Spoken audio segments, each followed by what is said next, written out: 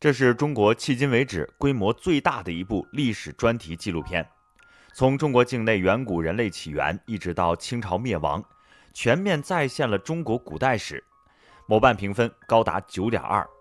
今天就让我们跟着专家的脚步，穿过历史的迷雾，走进那段被尘封已久的岁月，聆听祖先最古老的故事。首先，我们要了解一个问题：我们中国人的祖先是谁？他们来自哪里？随着大爆炸，宇宙形成了无数星系，在太阳的周围有一颗蓝色的行星，这就是我们的地球。大气层和液态水使得地球成为我们的已知唯一有生命存在的星球。大约在四十亿年前，地球上诞生了最初的生命，而人类的出现则是数百万年前的事情。我们的祖先来自于一种数量稀少的古猿，最初它们是在树上生活，但随着地球气候变化，食物逐渐短缺，古猿被迫从树上来到地面。他们不得不搬动石块寻找食物，或者用棍棒挖掘野生植物充饥。在这些劳动中，古猿的四肢逐渐产生分化，前肢分化成手，后肢分化成脚。直立行走的出现是人类文明史上至关重要的一步。它不仅解放了人类的双手，也打开了人类创造文明的源泉。在残酷的自然环境中，我们的祖先不断寻找着食物。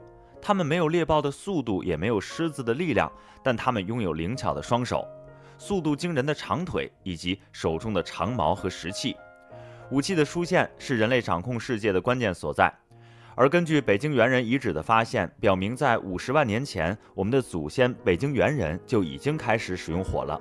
火造就了我们今天的文明，它帮助我们消化脂肪、碳水化合物和蛋白质，让食物更容易被我们消化吸收。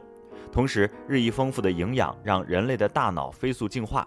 在经历了大约几十万年的漫长岁月后，猿人逐渐发展到古人阶段，也就是早期智人，相当于考古学上的旧石器时代中期。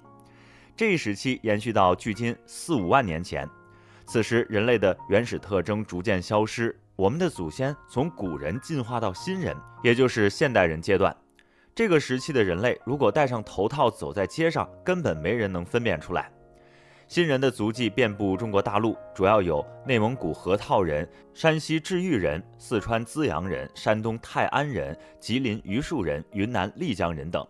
其中最有代表性的就是山顶洞人。而此时的人类已经掌握了磨制技术，他们开始制造避寒的衣物，走出洞穴，前往更广阔的地方。除此之外，在山顶洞人的遗址内，人们还发现了老年男性、中年女性和青年女性的头骨各一具，这表明下世是一处公共墓地。这对于人类文明来说是一个很重大的转变，这意味着人类开始重视生命，人与人之间的关系也开始密切起来。人类开始从松散的原始部落转变成固定而持久的大家庭，由此产生了氏族公社。中华文明即将进入一个伟大的时代。